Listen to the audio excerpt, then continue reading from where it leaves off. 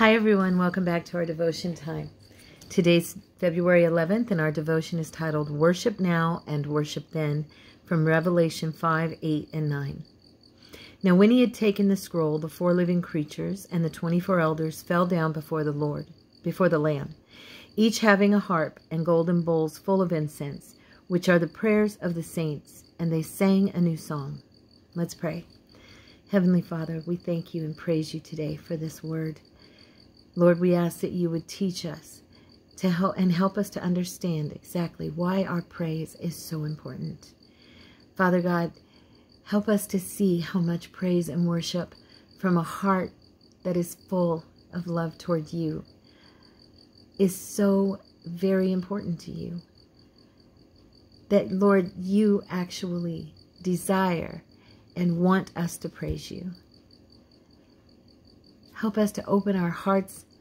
Help us to open our minds to change in any way that we need to so that we would come before you in spirit and in truth every day and give you the worship and the praise that you so justly deserve.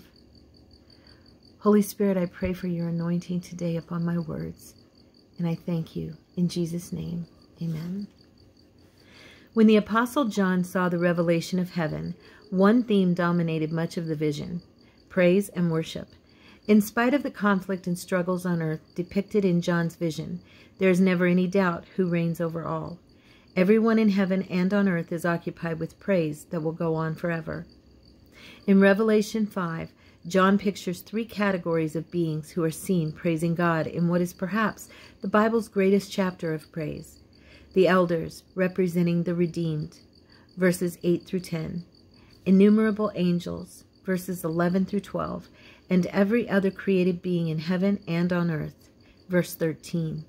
Each group has their own refrain of praise, extolling the one who sits on the throne and the Lamb of God. The impression is that this praise is ongoing, never ending, the continual refrain of heaven. If you are one of God's redeemed children, a future pray of praise and worship awaits you in heaven. As you anticipate the joy of worshiping God in heaven, prepare by worshiping Him through song as you go about your day. So, praise God. I want us to. I want us to jump over really quick to Revelation. And I want us to look at those verses that he referenced here. Okay. So he references verses 11, th 11 through 12, or 8 through 10, 11, 12, and 13. So let's start here. Um, this is when the scroll of the Lamb was opened. Okay.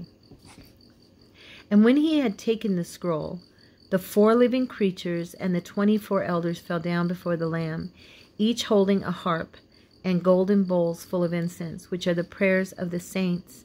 And they sang a new song, saying, Worthy are you to take the scroll and to open its seals.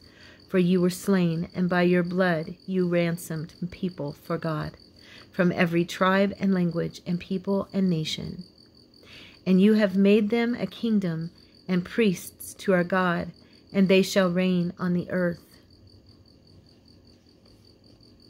Now that is talking about the redeemed.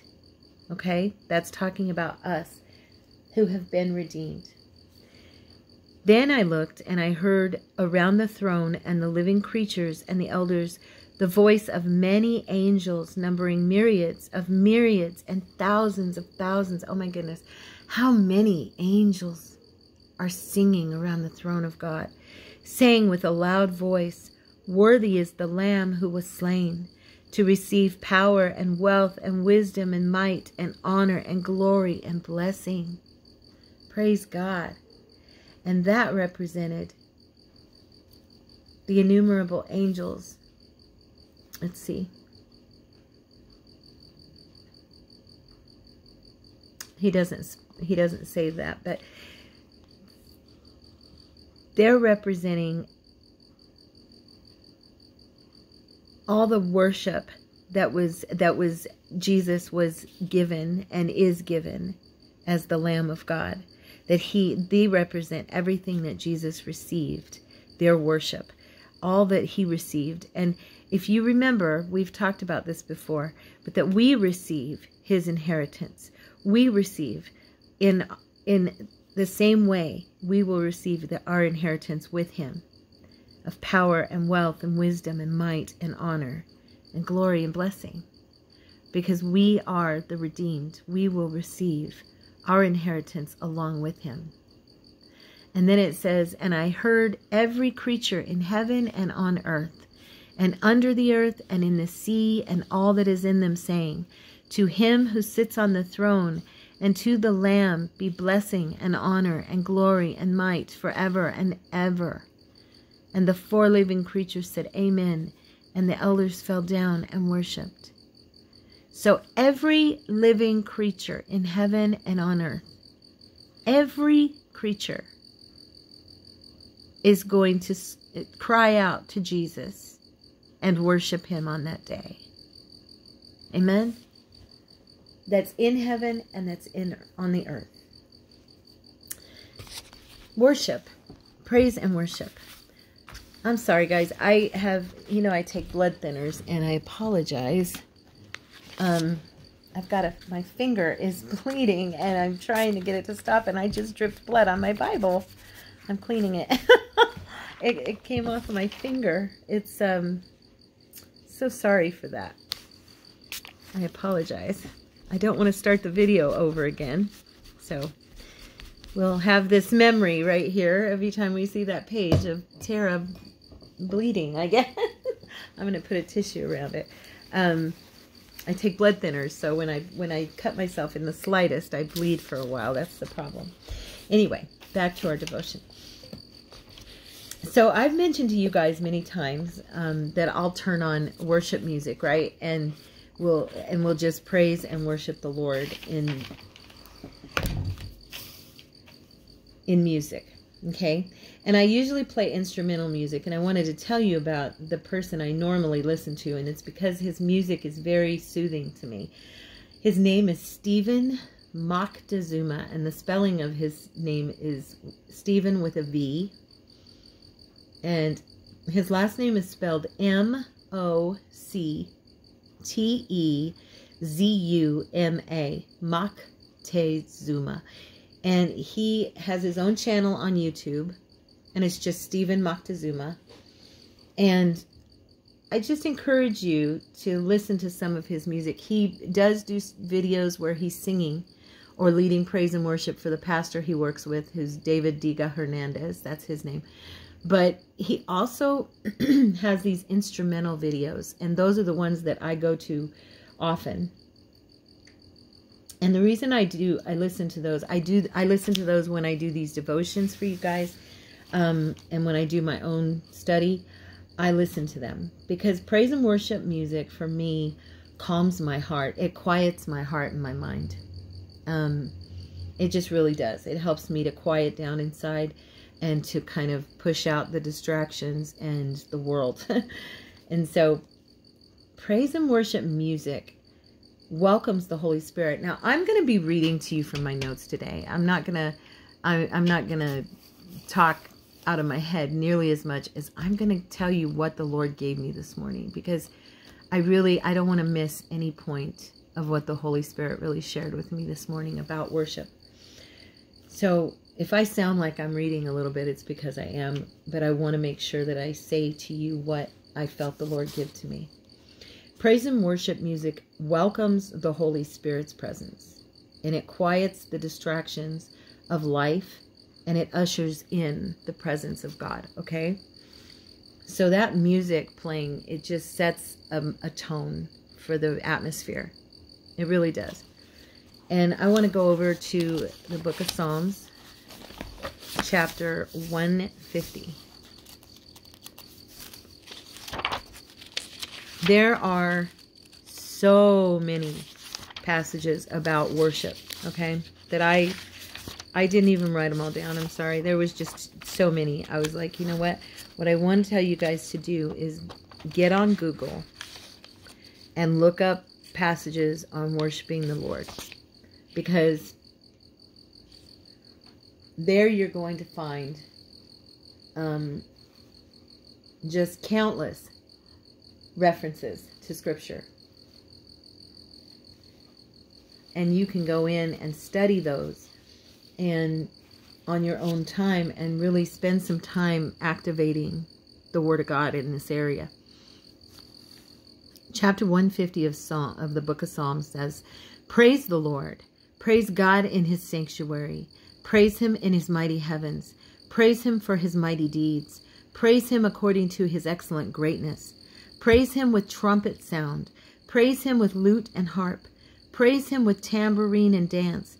Praise him with strings and pipe. Praise him with sounding cymbals. Praise him with loud clashing cymbals. Let everything that has breath praise the Lord. Praise the Lord. Hallelujah. We are to praise God with everything in us. Amen. And God's word tells us to lift our voices, to lift our instruments. And if you are a singer, your voice is an instrument unto the Lord. And it tells us to shout to him, okay? To to him with shouts of joy and praise. God loves for his children to sing to him. He loves for us to shout out his name, to shout unto him, to raise your heart to him in worship. There's no limits in his word, okay, when it comes to praise. If you study scriptures that talk about praising God, you're going to find that you are not limited. Amen. This may be a bit controversial. Okay, I'm going to tell you something. And it is a bit controversial. Controversial. But I want to make a point here because it is a fact that there are so many examples in the Word of God that that support or that there's no examples in the Word of God that support the quiet, non-physical, nearly ashamed expressions of worship that we see in many churches or denominations today. Now, I want to point out that I was raised in a denomination like that. So I'm not speaking about something that I don't know or that I'm just sitting back in judgment about. I was raised that we were not to demonstrate in church our love for God in any type of loud voice, clapping of hands, even musical instruments were not played. Many of you will know what church I my family came out of. I took myself to a Baptist church when I was 10 years old, a Southern Baptist. But prior to that, I was in a Church of Christ. Now, I just want to say I understand fully the Church of Christ's teachings on this topic. I was raised in it. And coming from Kokomo, Indiana, the Church of Christ is a very predominant denomination there. So I just, I don't want to offend anyone. But there are, there is nowhere in the Word of God that tells us that we should not be demonstrative in our praise of the Lord. And there is no scripture in the New Testament that mentions musical instruments. However, there is no scripture in the New Testament that decries using musical instruments. And so I just want to say to anybody out there, no offense, but I was brought up in that church and I understand the theory behind it, but I do not agree with it. I don't think it's biblical. And I want to encourage anyone who finds themselves not feeling comfortable in demonstrating their worship to the Lord to really study the scripture on this subject and think about it, okay? And really pray about it. I want to go over to Second Samuel. This is the one part that I wanted to mention because there is many, many times in the Word of God that we're told to be demonstrative to the Lord. We're told to shout. We're told to clap our hands. We're told to dance. We're given examples of that through different people, but David is the big one that we're given an example of even dancing before the Lord. And I want to read 2 Samuel verse uh, chapter 6 and I want you to go there with me. And this is this this particular pericope is talking about David and Michal, his wife. And it's when the ark was being brought back into Jerusalem and David was rejoicing, okay? And he was singing and he was dancing and he was rejoicing before the Lord. And it says, As the ark of the Lord came into the city of David, Michal, the daughter of Saul, now remember, she was the daughter of Saul, his enemy. She was taken from her husband because she had been promised to David when they were young. And then Saul had given her to another man. And when David came, came into his kingship, he took her back because she had been promised to him. So there was some resentment there anyway about her, but from her. But it says, Michal, the daughter of Saul, looked out the window and saw King David leaping and dancing. Leaping and dancing. And this is a king. He was leaping and dancing before the Lord. And she despised him in her heart. In other words, she hated seeing him do that. She resented his worship, his freedom before God. She thought he was being a fool. And it says, And they brought the ark in the ark of the Lord and set it in its place inside the tent that David had pitched for it. And David offered burnt offerings and peace offerings before the Lord. And when David had finished the offering, the burnt offerings and the peace offerings, he blessed the people in the name of the Lord of hosts and distributed among all the people, the whole multitude of Israel, both men and women, a cake of bread, a portion of meat, and a cake of raisins to each one. Then all the people departed, each to his house. And David returned to bless his household.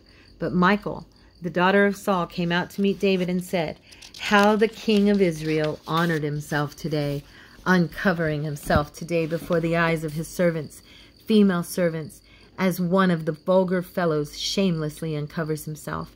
And David said to Michal, It was before the Lord who chose me above your father and above all his house to appoint me as prince over Israel the people of the Lord, and I will celebrate before the Lord. I will make myself yet more contemptible than this, and I will be abased in your eyes. But by the female servants of whom you have spoken, by them I shall be held in honor. And Michal, the daughter of Saul, had no child to the day of her death. God struck her womb. He closed her womb and she never bore a child because of her resentment toward her king, toward her husband, and because of his worship unto the Lord. That is how serious it is for someone to judge another person for worshiping God freely. And that story always struck me so hard to realize the depth of how serious our Father takes the freedom of his saints to worship him. And it says, I'm read I'm going back to my notes.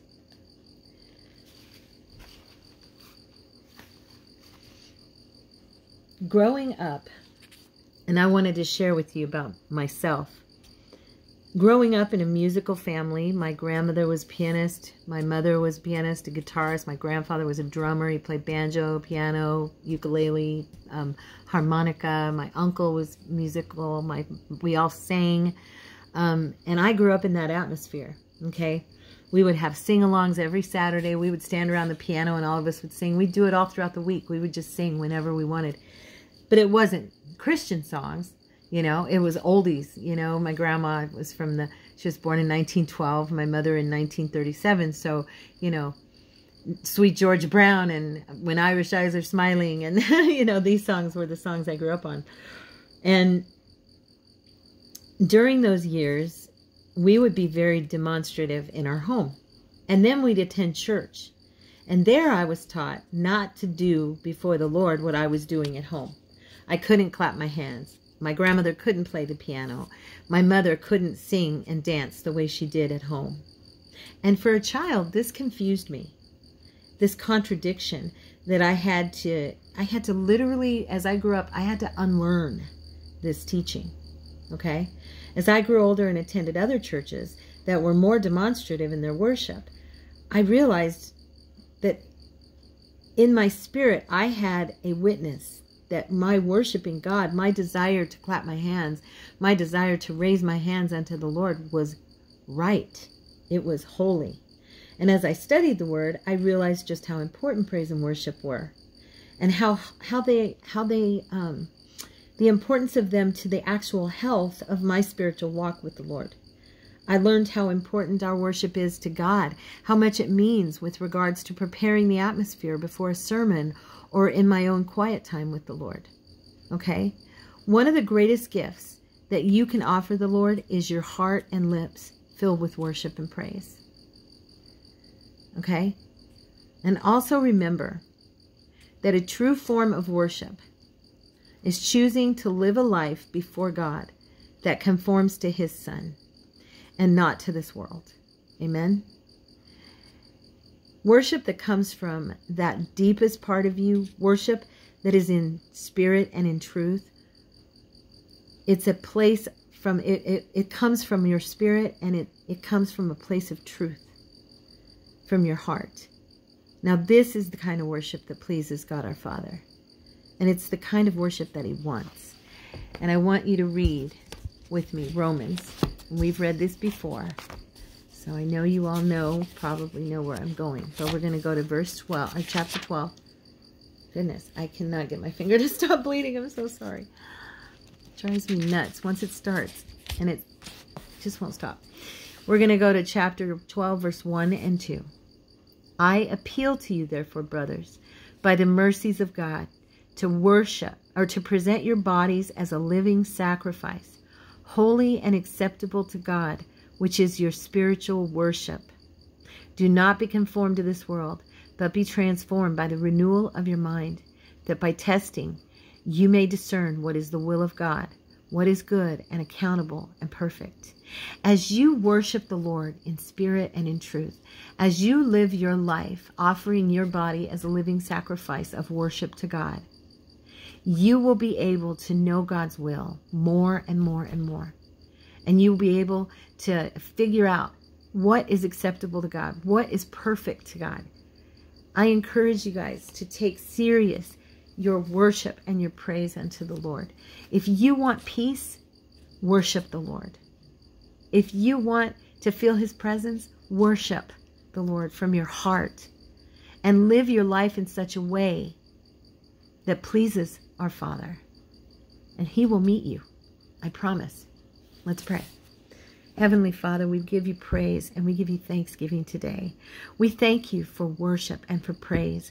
Lord, we thank you that you have given us permission and you've invited us to free ourselves before you in all of our adoration, to show you a passionate love, Father God, and to live our lives passionately.